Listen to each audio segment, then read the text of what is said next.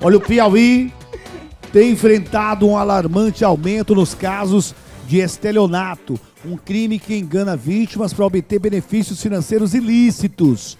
O Estado registrou um aumento de 51% no número de ocorrências desse tipo. O repórter Chico Filho preparou uma reportagem especial sobre esse tema. Quer dizer, é o cheixo, né? O velho cheixo aplicado. Vamos conferir. Mostra aí, Chico, decola, vai. A tecnologia cada vez mais auxilia no dia a dia das pessoas. É que na palma da mão se pode resolver diversas situações ficando fora das filas usando os aplicativos de internet. Mas é importante ter muito cuidado para não cair em golpes, que são praticados também pela internet. Esta dona de casa teve uma desagradável surpresa ao pagar um falso boleto, acreditando que estava pagando para a operadora de plano de saúde dos filhos. Isso, eu fui pagar o plano de saúde dos meus filhos, né? Não consegui baixar no aplicativo do, do plano, né? E fui tentar pela internet, baixar pelo site. Só que eu, eu baixei e, e paguei. E uma semana depois eu fui dar uma olhada lá no aplicativo para ver se estava ok, se, se, tinha, se tinha dado baixa no boleto. E estava lá o boleto ainda é, em aberto. Aí eu te, entrei em contato com o plano de saúde, né? Liguei para lá, estava em aberto. Aí ela disse assim: "Olha, não, não a gente não mandou nenhum boleto para você, você caiu num golpe". Então eu paguei 468 reais e perdi, né? Para ela, como vítima de um golpe de estelionato praticado pela internet, a situação foi frustrante. Quando se tratou de um benefício para a saúde dos filhos. A gente, a gente se sente frustrado, né? Porque a gente trabalha, a gente faz, paga os impostos da gente, a gente faz tudo tão direitinho e, as, e existe esse tipo de pessoa, né, que vive de, de lesar, né? Então, para mim, assim, foi, foi muito triste, né? Porque foi um prejuízo, né?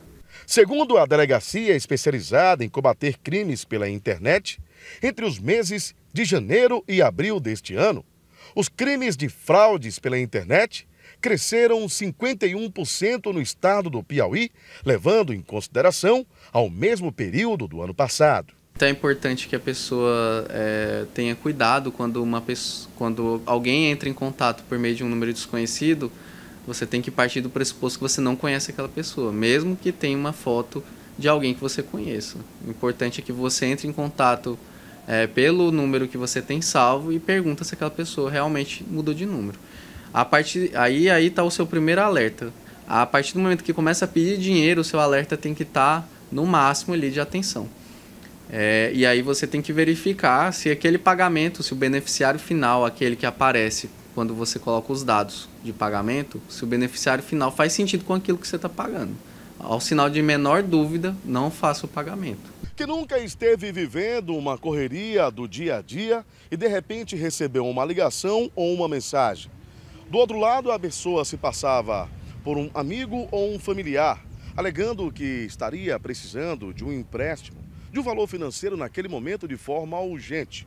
Ou até mesmo, do outro lado, alguém se passa por um sequestrador, alegando que está com um amigo, um filho, um primo, um parente.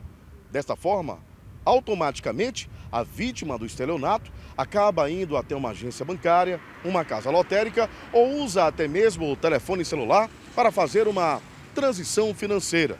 É neste momento que a pessoa acaba caindo em um golpe, sem se certificar se do outro lado quem está falando é realmente aquela pessoa que a vítima está pensando que é. Segundo a polícia, não só os criminosos que estão dentro do sistema prisional fazem este tipo de crime virtual, mas também pessoas aqui do lado de fora, cada vez mais estão se dedicando a aplicar esse tipo de golpe. É comum acontecer, só que agora são pessoas soltas mesmo, né? Não mais dentro do, do sistema penitenciário. É, é, bem comum ainda acontecer, mas são pessoas que estão em liberdade mesmo, que praticam esses golpes aí. É, tanto que a gente, em levantamento aqui interno da delegacia, a gente é, reparou que teve um aumento aí vertiginoso é, dos crimes de estelionato, é, por volta de 51% aí no aumento dos crimes de estelionato. Para a polícia, a tecnologia realmente vem ajudando o dia a dia das pessoas. Mas é preciso ainda manter algumas tradições do passado para se certificar que não está caindo na lábia de um estelionatário. Os mesmos cuidados que a gente tinha no ambiente físico, por exemplo, não aceitar a ajuda de estranhos ali no, no terminal, é a mesma coisa no ambiente virtual. É uma pessoa que entra em contato com você, que você não tem salvo ali na sua agenda, você não sabe quem é. Você tem sempre que é, ter esse comportamento cético, de não acreditar logo de primeira naquilo que lhe é posto. Ah, você ganhou um prêmio aqui. Ah, fulano de tal está entrando aqui em contato por outro número falando que, que o celular quebrou o seu, seu comportamento inicial tem que ser desconfiança. Você não pode acreditar logo de pronto que, que se trata daquela pessoa que está falando, seja pelo WhatsApp, seja pelo Instagram ou o que quer que for.